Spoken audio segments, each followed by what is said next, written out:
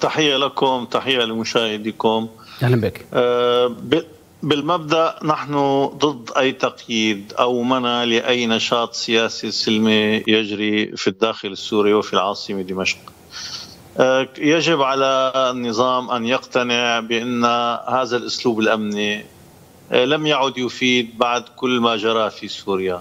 هذه العقلية الأمنية التي سيطرت على البلد و كان لها الدور الأكبر في وصوله كما نعتقد إلى ما وصل إليه من كارثه يجب أن تتغير ويجب أن يكون هناك سقف مفتوح للحريات وللعمل السياسي.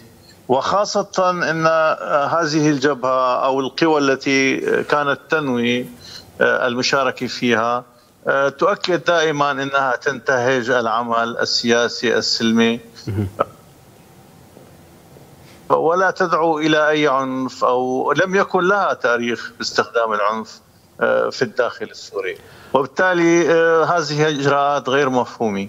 نعود إلى موضوع أهمية هذه الجبهة، آه، نحن لا نعتقد أو أنا لا أعتقد بأنها يعني لها أهمية كبرى خاصة إن القوى التي كانت ستشارك بهذه الجبهة هي تقريبا نفسها القوى المنضوية ضمن هيئة التنسيق. يعني ليس هناك جديد حتى في تشكيل الجبهة وفي تسميتها. هيئة التنسيق أو القوى آه، كانت أعلنت منذ آه، أكثر من ثلاث سنوات عن موضوع آه، إقامة الجبهة الديمقراطية الوطنية الديمقراطية جود. و طيب أستاذ سلمان نعم.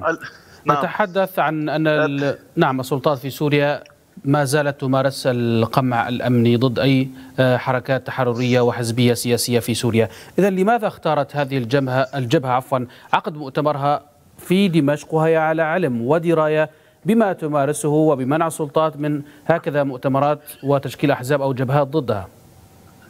هذا السؤال الحقيقة هذا السؤال مطروح. آه، هيئة التنسيق أو القوى التي كانت تشارك في هذه الجبهة تعرف جيدا بأنه يمنع ممارسة أي نشاط سياسي إذا أو اجتماعات سياسية آه، إلا إذا حصلت على ترخيص مسبق.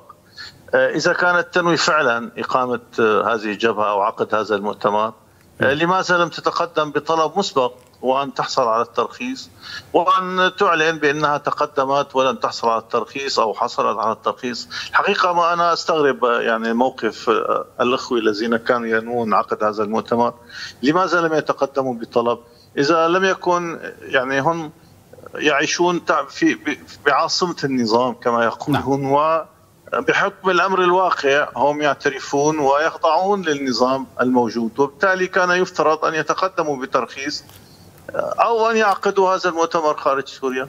هم نعم أو لم يكن أستاذ سلمان يعني ندرك وأنا أتوقع. نعم أنا كنت أتوقع بأنه سيتم منعهم من القيام بذلك. إذا لم يكن قد حصلوا على ترخيص مسبق وأنا سمعت تصريحات عدد منهم قالوا بأنهم لم يتقدموا لم يحصلوا على ترخيص حتى الآن وإنهم حددوا موعد ودعوا عدد من السفراء للحضور. ربما كانوا يعتقدون بأن مجرد حضور عدد من السفراء وخاصة السفير الروسي سيعطيهم نوع من الضمان طيب أستاذ سلمان تتساءل حضرتك أنه لماذا لم يعقد خارج سوريا؟ لم أفهم. ولكن نعم آه نعم. هل من الممكن الآن بعد فشل عقده في دمشق أن يمكن أن يعقد هذا المؤتمر في سوريا ولكن خارج مناطق سيطرة الحكومة وليس خارج سوريا؟ أنا أعتقد أن يعني الحكومة بهذا الإجراء قد أعطت مصداقية وأعطت أهمية أكبر من حجمه الحقيقي لهذا المؤتمر. هذا المنع يعني وهذه الإجراءات آه، أعطت أهمية أكبر للمؤتمر وللقوى المشاركة فيه ولهيئة التنسيق. هيئة التنسيق ندرك نعرف جيدا أنها قد تعرضت لكثير من الانسحابات والانشقاقات وخرجت منها كثير من القوى السياسية ومن الشخصيات الفاعلة. الآن يعني هذا المنع أعطى هيئة التنسيق مصداقية جديدة أعاد تأهيلها أعطاها نوع من ال...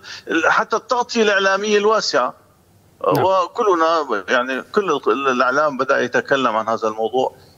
أنا ربما ربما ربما لا, لا أستطيع أن أخمن لكن ربما كانت هذه الحركة مقصودة لإعادة تأهيل هذه القوى واعطائها أكبر من حجمها الطبيعي على على الشارع على الأرض يعني. نعم ندرك جيدا ونعرف الحجم الحقيقة لهذه القوى السياسية لكن نحن أعود وأقول أقول بالمبدأ نحن ضد أي تقييد آه، هذا الإجراء مرفوض آه، نحن نستنكر هذا الإجراء اليوم نعم. نحن مع حرية العمل السياسي لكل القوى السياسية وأن تأخذ حرية كاملة في العمل والنشاط ضمن أراضي سوريا كلها. أشكرك جزيل الشكر أستاذ سلمان شبيب رئيس حزب سوريا اولا كنت معنا مباشرة من حمص.